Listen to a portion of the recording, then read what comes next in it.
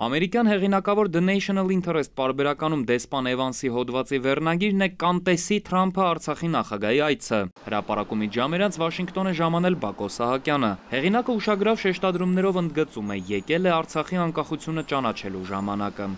2016-ի պատերազմից հետո այցելեցի Արցախ եւ տեսա, որ Լեռնային Ղարաբաղի ժողովուրդը եւ իշխանությունը աշխատող ժողովրդավարություն են կառուցել։ Նրանք ունեն պետությանը հատուկ բոլոր հատկանիշները, բացառությամբ այլ պետությունների հետ հարաբերություններ հաստատելու կարողությունը։ Նրանց մերժում են օգտվել այդ հնարավորությունից։